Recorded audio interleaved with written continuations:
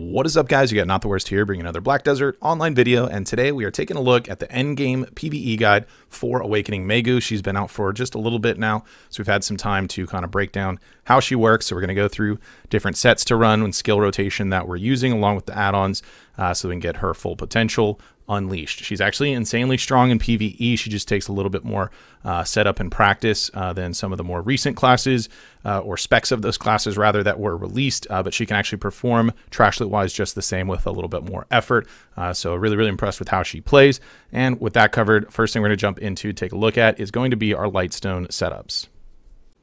Before we jump into the rest of the guide, did want to quickly mention that Pearl Abyss has graciously hooked me up with a a little bit of a promo where uh, if you are purchasing pearls, or rather the Acoin to then purchase the pearls, you're not on the Steam client, you're using the regular web client uh, version, you can enter creator content code. Mine is NTW, and a percentage of that purchase of pearls will go to me rather than Pearl Abyss. Uh, so it helps your boy out. If you're already thinking about buying the pearls, maybe consider dropping that code in NTW for me uh, as just a way to say thanks for you know guides or whatever, or just looking good on stream, whatever the case may be. I would greatly appreciate it. Again, code NTW. NTW when you're purchasing pearls on the web client service. Thank you.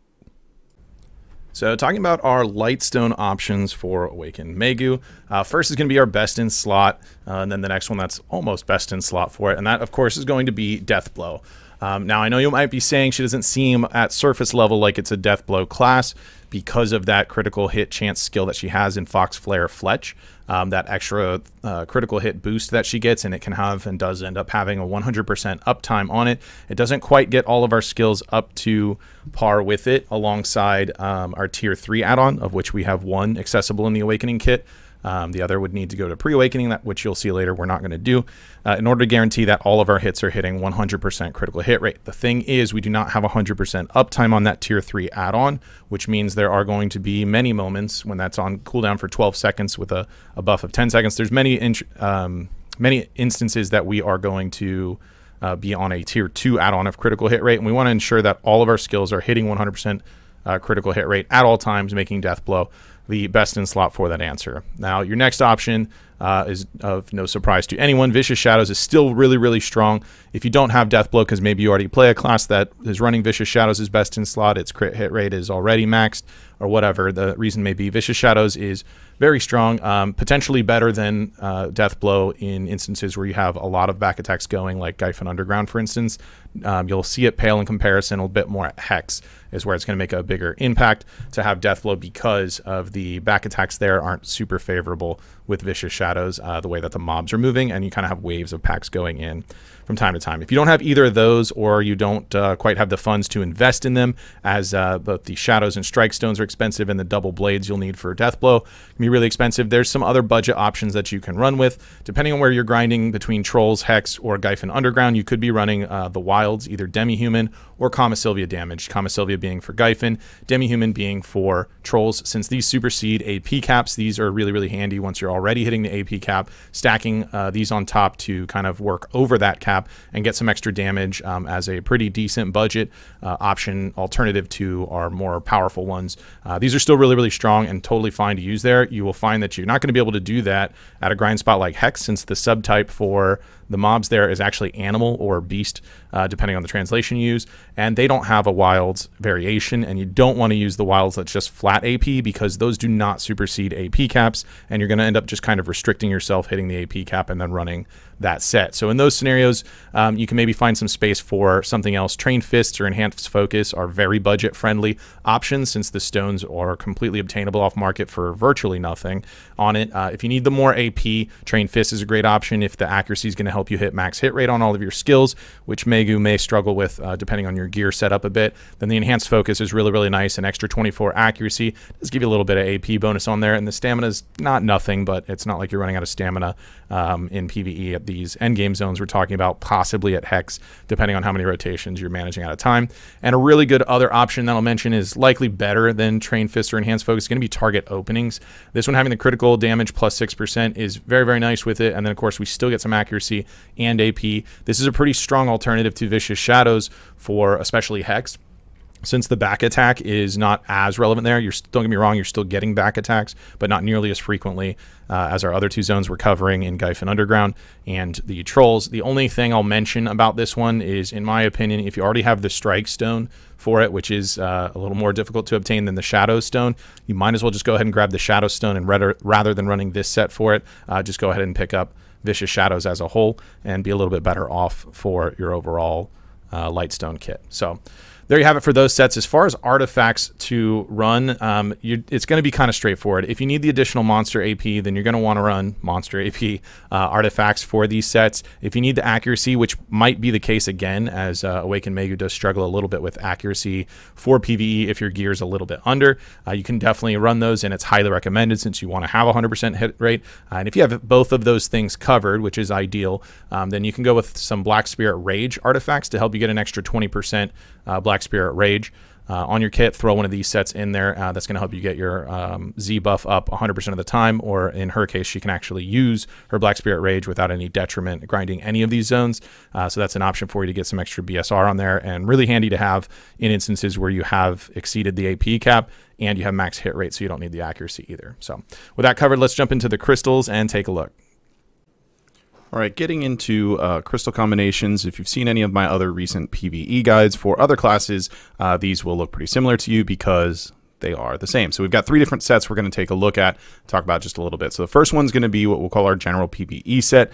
This set is for the player that doesn't want to care about what our hit rate is or AP caps or anything like that. You don't want to be bothered worrying about this stuff. You just want to throw on a set that's going to be good enough uh, to go anywhere. It's going to guarantee that you have hit rate in the type of spots we're talking about, like Gyfin Underground, which is not very restrictive uh, uh, accuracy wise.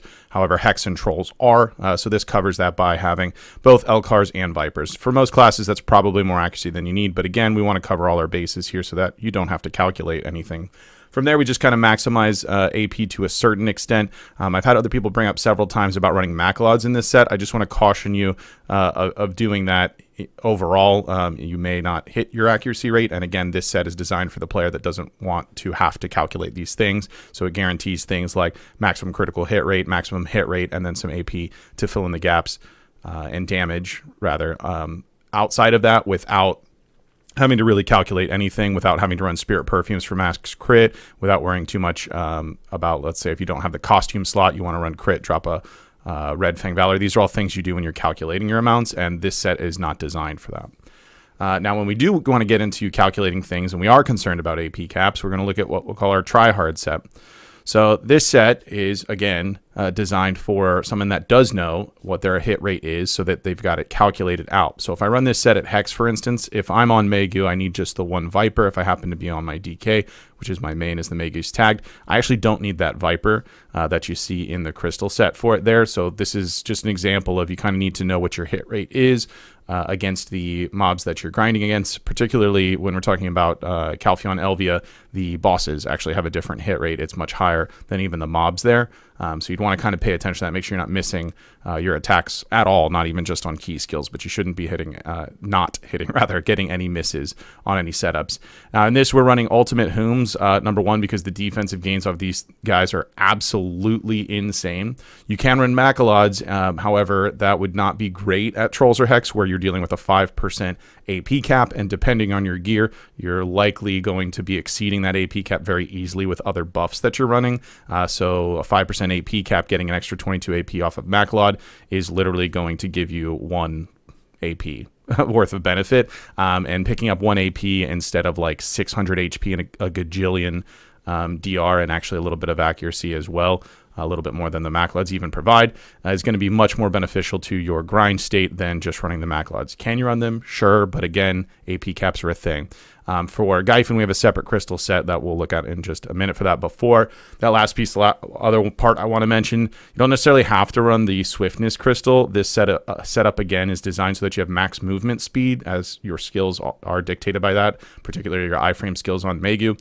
Um, so we do want max movement speed if you can get it. Is running for max movement speed fine? Like, yeah, it is. You could do that um, if you wanted to. You can also run Spirit Perfume elixirs to get maximum critical hit rate, and you don't necessarily have to have the Dark Red Fangs, or if you want to drop one um, and then run the critical hit uh, costume slot or you just don't have the costume slot, uh, you can definitely do these things and kind of mix and match. The design here was you're not having to run things like Spirit Perfume um, constantly, and you're also um, going to maintain that max critical hit rate while running a Frenzy draft and movement speed as well if you can. So that's that's the design on that. Just throwing that out there before anyone mentions uh, things about other options with that. Last set that we're going to talk about is the Gyfin set, and we're going to pretend those Macalods are the ultimate version. I haven't bothered making my Crystal of Harmonies that are extra out of the, other than the Hooms uh, into Macalods, uh, just because I haven't gotten around to because I honestly haven't grinded Gyfin that much in general. So you do want to run the ultimate Macalods here, and the reason in this scenario why that's beneficial for Gyfin is the AP cap's only 70%. So when it's extremely restrictive in Elvia, you get virtually no AP for going over the cap. Number one, the cap is much lower at Gyfin, and number two, at a 70% restriction, picking up 22 AP is actually going to give you a little under 15 AP worth of usage as opposed to the one-ish AP you get at the two Elvia zones we've mentioned. Um, and then you'll see we do swap out the corrupted crystals for Crystal of Mysterious Darkness. These providing 12% back attack each on them is extremely powerful at Gyfin because when you're grinding there uh, properly, then uh, you will be getting all back attacks at all points in time, and they do supersede the damage that corrupted crystals would be dealing. Um, this can also be even more impactful in a scenario where, for whatever reason, you've decided to change the setup and not have critical hit rate maxed out at all times. Um, if that is a scenario, uh, you'll also see the scale going towards back attack, especially at Gyfin in general. We have just the one uh, Dark Red Fang uh, crystal, so that we're going to actually be using Giant's Draft here. We'll, we'll maintain a max crit uh, that way, as it performs pretty similar to Frenzy Draft, since again, we're getting 100% back attack when we're grinding at Gyfin. Crystal Brutal Decimation, pretty straightforward. That back attack, extra monster damage, both apply at Gyfin. So I don't really need to explain what we're doing there. Rebellious Crystal, obviously in every single set for PvE because it's just insanely good. I've even seen some uses in PvP because the stats are just absurd. Uh, and then on all of these, we are using the Giron's Crystal as it's the best in slot primordial crystal uh, across the board. I don't have a tier just yet. Hopefully this week I'm just a little bit short. Uh, if I get like two fragments or one crystal out of my bundles this week, then I should have the Giron's tier, which will be nice. So obviously if you have that, you want to go ahead and upgrade to the tier. So there you have our crystal setups. Uh, let's go ahead and get into skill add-ons and see how everything's going to tie in with the rotation afterwards. Here are our skill add-ons, and before we go into talking about a few of these, I just want to point out something I always mention in these guides is that your skill add-ons and your skill rotation should work hand in hand with each other. That is to say that your add-ons are mapped out in a way that they're not overlapping or overwriting in some cases and not getting a benefit um, based on what skills you're using in your skill rotation. So if you take these and want to modify them a bit, then make sure that lines up with the skill rotation as well, and vice versa. If you take the skill rotation and then kind of change it around to what feels nice for you, you may want to look at the skill add-ons and adjust them accordingly. You don't want to be doing things like running a a tier 3 add-on and then you have a refresh for a tier 2 uh, a little bit later in the skill rotation but it won't overwrite the tier 3 and so the last two seconds of the tier 3 go you use your tier 2 skill and now you don't have any add-on for the next uh, four or five seconds whatever your, your cooldown on that setup is um, so you don't want to run into things like that just make sure you kind of pay attention uh, to each one. Um, so as far as these add-ons go, fairly straightforward with what we're trying to do. As with most classes, our most important PVE uh, segments are going to be our critical hit rate, unless you're on a class that has 100% this, on everything. This one does not. Um, then your attack speed, of course, and then your extra AP against monsters, which might be variable based on where you're grinding and your AP caps. So in this setup, we are awakening only stance. We don't want to go into our pre-awakening which I'll explain quite a bit in our skill rotation section. Uh, so that gives us access to just one tier 3 add-on. Uh, for our Maegu, that critical hit rate is extremely important for us. So we definitely want to have that 30% there. And then we do run attack speed plus 10% as well. You could potentially be running extra AP against monsters plus 30 here if you need it. I caution you to pay attention to your AP caps, especially once again, Hex and Trolls that are 5% AP caps, because you're likely superseding that. I would also argue that if you're only 10 AP away from hitting the cap and you need the tier 3, there's a lot of other ways to pick that up, even just running like a Perfume of Courage or something. Um, so that you can hit max. It would be a little bit more advisable than sacrificing the two slots for the tier three add-ons that we have that. Twirling Fox Flare then has the tier two critical hit rate. It's going to pick up the gaps where uh, our Emberclaw finale is on cooldown, as it has a 12 second cooldown.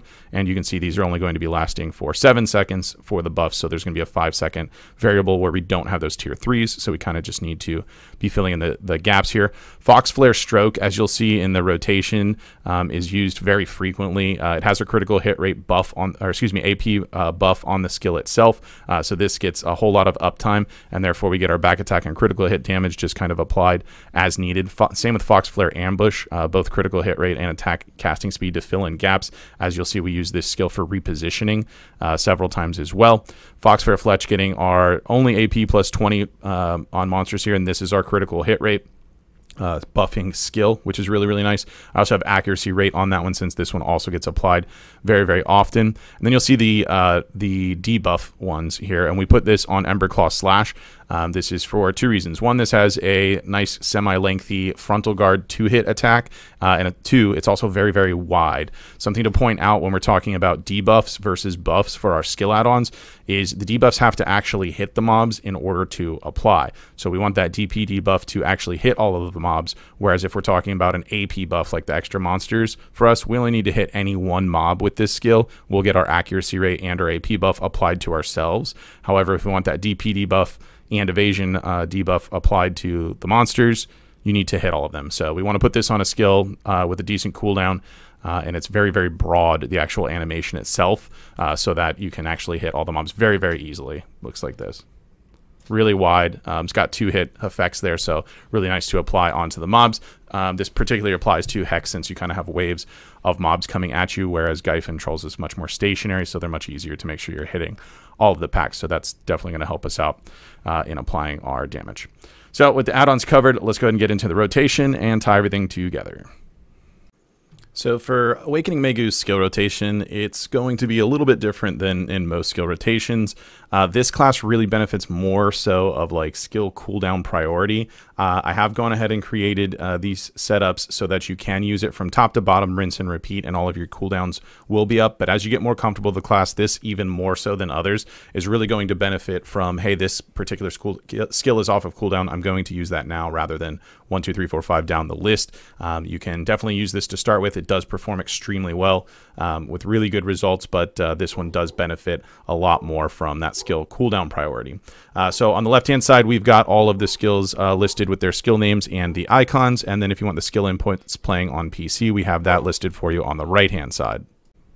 This uh, setup is crafted so that you're always in Awakening stance for two reasons. One, uh, because it feels nice when you're playing an Awakening class and it only needs to use the Awakening stance and two, because the class is truly designed that way. You have your Spirit Forge stance, which increases the uh, abilities of most of your Awakening Kit skills.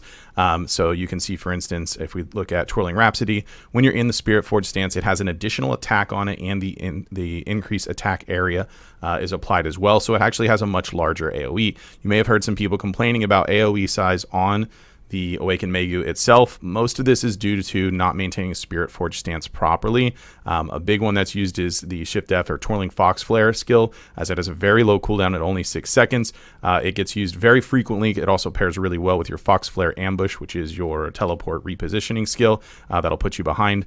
Uh, the mobs as well, um, and it has an additional uh, it has additional effects as well in the Spirit Forge Stance. It's a little bit faster, and the AoE size is also increased. So it's really important we keep that Spirit Forge stance maintained at all times. The other thing to note is sometimes that stance is actually uh, confused with the critical hit damage uh, buff that she has, uh, and it's actually not the same thing. So the Maegu in general has this passive twirling crane. When you combo into the skills mentioned below while using the Spirit Forge stance into Foxfire, whatever, whatever, you get critical hit damage plus 2%, 5%, and 10% in the following situations for those.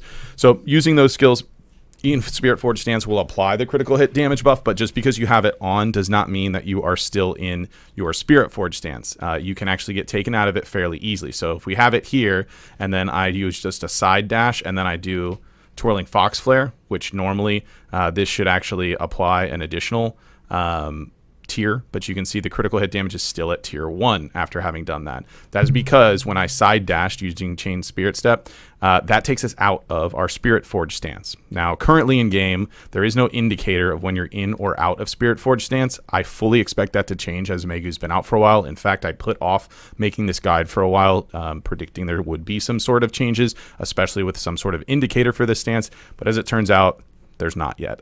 I still expect there probably will be at some point since classes like Awakened Dracania that deal with multiple stances uh, had one implemented very quickly. Um, so I do expect that to be the case. But until then, you just kind of need to be comfortable with it and you're just going to be able to use this rotation to uh, kind of map out what you're doing and maintain that Spirit Forge stance. Doing things like we mentioned, like the side dash is going to take you out. And also to note, going into your pre-awakened stance will take you out of Spirit Forge uh, as well. So we don't want to do these things. We want to maintain all of our extra effects so that we are getting maximum damage uh, with our Maegu and that we are able to maximize the rotation uh, damage output and keep our skill add-ons nice, nice and sharp so we stay out of pre-awakened uh, for that effect.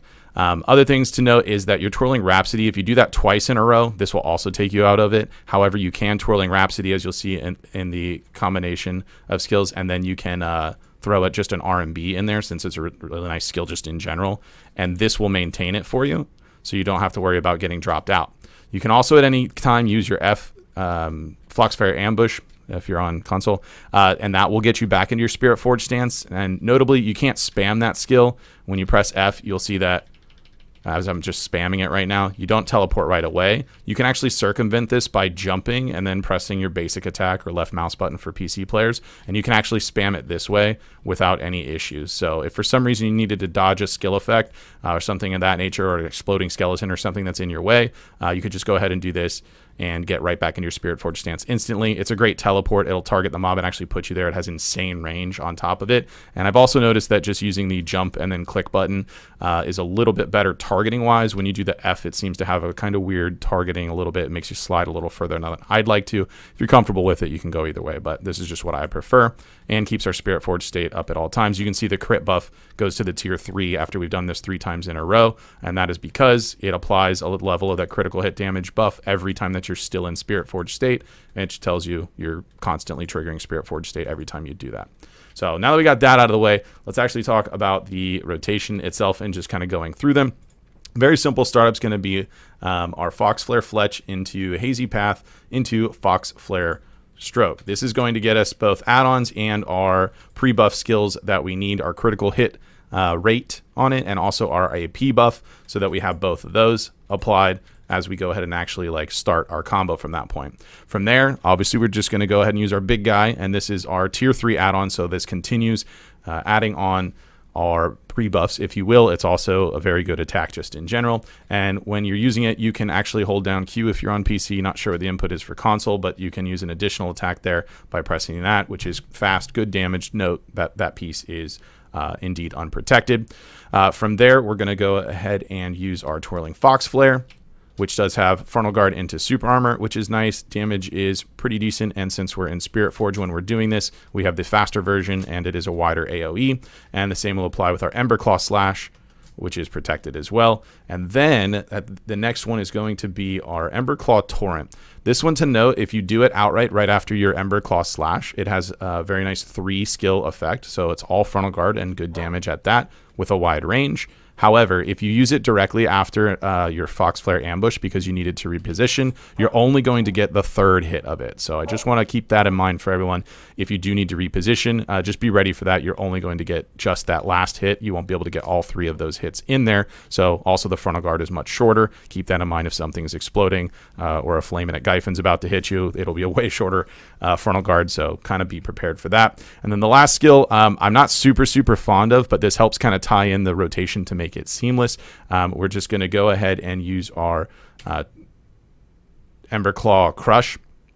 Um, and this skill is okay. It's unprotected. The damage is fine with it, but I'm not super in love with it because of the animation speed. Um, for the damage that we're dealing. However, because we wanted to try and run a seamless rotation, we do need it to ensure that we're going to have uh, our big guy, the tier 3 Emberclaw finale with the flow back up and available. So it's kind of important to do that.